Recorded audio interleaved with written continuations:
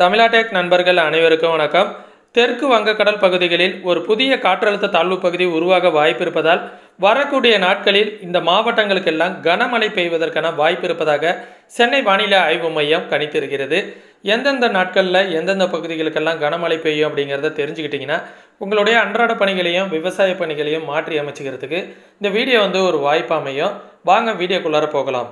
தென்கிழக்கு வங்கக்கடல் பகுதிகளில் அடுத்த நாற்பத்தெட்டு மணி நேரத்தில் ஒரு காற்றழுத்த தாழ்வு பகுதி உருவாகுவதற்கான வாய்ப்பு இருப்பதாக சென்னை வானிலை ஆய்வு மையம் தகவல் தெரிவித்திருக்கிறது. இதன் காரணமாக தமிழகத்தில் அதிக மழை பெய்வதற்கான வாய்ப்புகள் ஏற்பட்டுள்ளது.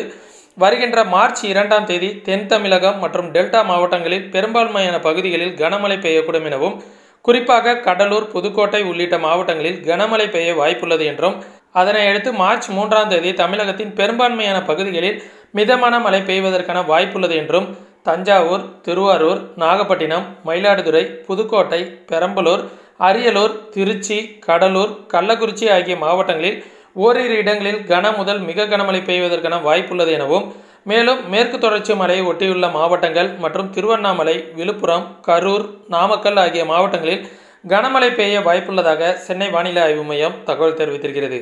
தற்போது வருகின்ற நாற்பத்தெட்டு மணி நேரத்திற்கு வறண்ட வானிலையே நிலவும் எனவும் அதற்கு பிறகு சரியாக வருகின்ற மார்ச் இரண்டாம் தேதி முதல் பெரும்பாலான மாவட்டங்களில் மழை தொடரும் எனவும் கடலோர மாவட்டங்களில் கனமழை பெய்யும் எனவும் சென்னை வானிலை ஆய்வு மையம் தகவல் தெரிவித்திருக்கிறது. எனவே இந்த பகுதிகளில் உள்ளவங்களாம் சற்று எச்சரிக்கையாக இருங்க.